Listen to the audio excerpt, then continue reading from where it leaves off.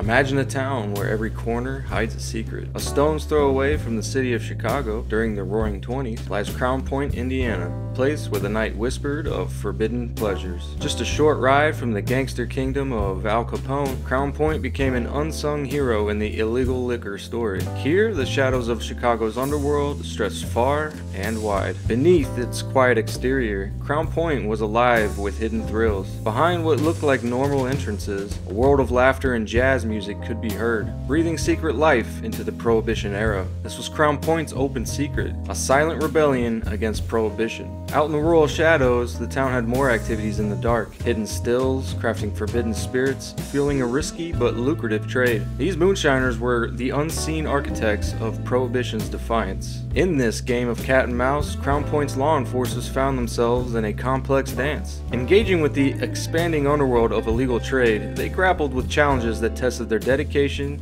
to maintaining justice in the town. Prohibition left more than just whispered stories. In Crown Point, it crafted a legacy, a unique cultural identity born from tales of speakeasies and daring moonshiners. In the heart of Indiana, Crown Point's Prohibition story remains an important chapter to a town that played its part in one of America's most fascinating eras.